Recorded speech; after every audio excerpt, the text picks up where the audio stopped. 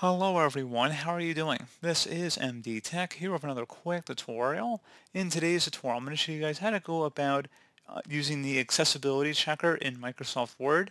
So we'll get into some of the settings about that and more of the nuanced features once we get over to that area. And without further ado, let's go ahead and jump right into it.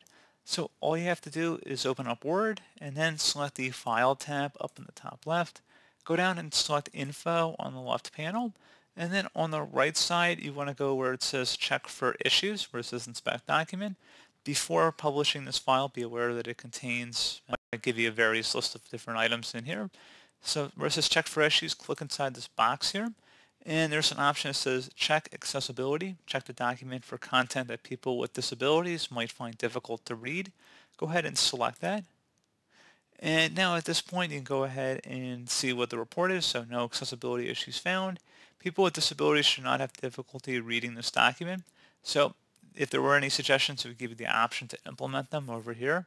And you can also keep the accessibility checker running while you work. And if you view additional information, you can get redirected to a support page regarding accessibility with the accessibility checker.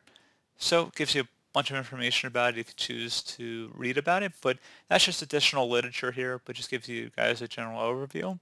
So as always, thank you for watching this brief tutorial. I do hope I was able to help you out, and I do look forward to catching you all in the next tutorial. Goodbye.